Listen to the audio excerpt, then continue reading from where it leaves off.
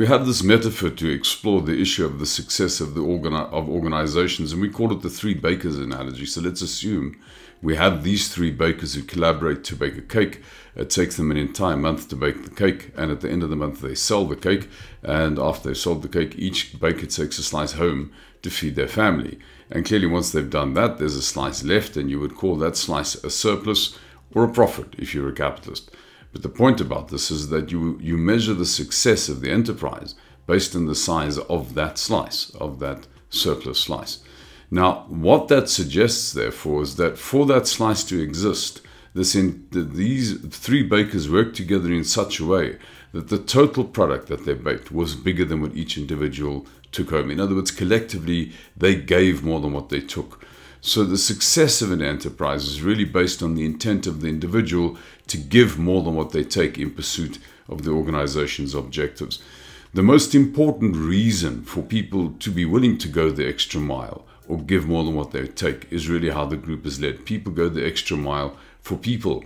And this is, in a sense, where we find one's first significant problem because, you know, uh, it's really very interesting how most people in leadership positions see the word leadership. If you were to ask, you know, an average leader or a group of leaders to describe what this word means or to define the word, then what you see here is a, is a reasonably typical list of things. People would say things like, um, leaders, the, the, the example that you set to fellow employees in your team, the ability to influence, the ability to serve, the ability to influence people to achieve goals voluntarily, the influence of the team to achieve a common goal to pull in the same direction, empowering people to be better than you, the ability to manage conflict, somebody who has been where you want to take them and where people will do things willingly, um, be inspirational and motivational to your team for them to reach their full potential, the ability to promote the planning, leading, and controlling and organizing of the team you're assigned to,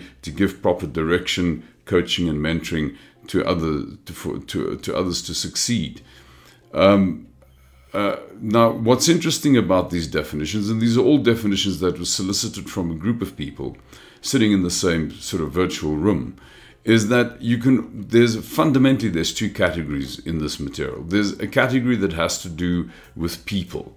Um, you know, set the example you said your fellow employees, for instance influence people, we've indicated there, empowering people. So there's this one category which is about people, and then there's another category which is about an outcome or a result. Um, so as soon as you say the ability to influence, it suggests a direction. Um, if you say achieve goals, this is a direction. Common goal is a direction. In fact, some people say the same direction. These are all about outcomes and results which means if you put this information through a still and you were to uh, produce a single sentence out of this information, that single sentence would lead something like leadership is about achieving a result through people. Now, most leaders have this view, and the problem with this view is that it's deeply toxic. And a simple thought experiment suffices to make the case. Let's assume um, we try and understand the difference between a, bo- a, a person who's going to work for a boss because they have to and a person who's going to work for a boss because they want to. So we assume you're the boss, you've got two people working for you. We're going to call one person Fred and the other person Joe. And uh, in Fred case, if you, you say to Fred, Fred, in 2010 rather, I did what you have to do now, and what I did worked. Let me go and do what I did. You say to Joe, Joe, in, in 2010, I did what you have to do now, and what I did worked. Uh, it might be helpful to take a look at it. Now, the question is, well, what makes these two interactions different? And it appears that in the Joe case, you're being a lot more, in a sense, democratic. Um, the Fred case, you're being a little bit authoritarian, it's sort of command and control. Uh, and clearly, if you you know, if you the question is who's going to work for you because they have to, and who's going to work for you because they want to. Fred's going to work because he has to, and Joe's going to work because he wants to. I'd like to suggest that the reason for that difference isn't just that you're, in a sense, being more democratic with, with, with Joe than you are being with Fred. There's quite a deep uh, difference here, which has to do with how means and ends pattern in the, in, in, the, in the sentences. Because if you consider these two categories, means and ends, and you put into those two categories either the person who's doing the job or the job that's being done, and we examine the Fred interaction, if you said to Fred, Fred, in, in 2010, I did what you have to do now, and what I did worked, go and, go and do what I did, then basically your end is to get the job done, and you're using Fred, the person, as your means to get the job done. Fred is your resource, your aim is to get a result or to achieve, uh, to get a job done.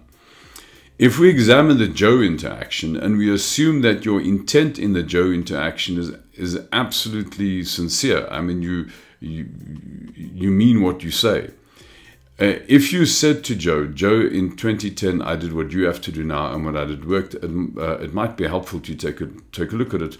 You could have a completely different outcome from what you had in 2010. In fact, it might even be a disaster which means in this instance your, you, you, in, your intent is not to get a job done. Your intent is actually to teach Joe the person something and using the job that is doing as the opportunity to teach him to do something. Um, now, this inversion of means and ends is really quite significant because it suggests that in the Fred case, you're using Fred the person as the means to get the job done.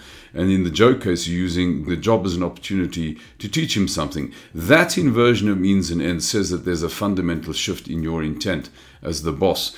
Because if we asked Fred, you know, Fred, who's the beneficiary of this interaction with your boss? He's going to say the boss. The boss is trying to get something out of me, he's taking from me. If you ask Joe the same question, who's the beneficiary of this interaction with your boss, uh, you or the boss, he'll say, no, it's me. The boss is trying to give me something. Now, clearly, if we define the the job of the leader through this lens, if we say leadership is about achieving a result through people, then we're talking about the Fred interaction and not the Joe interaction. And what's very important is that if we say that the organization succeeds based on the degree to which the average person gives more than what they take in pursuit of the group's objectives, work because they want to rather than because they have to, then we have to understand that this statement is therefore deeply toxic. Um, that statement is about taking.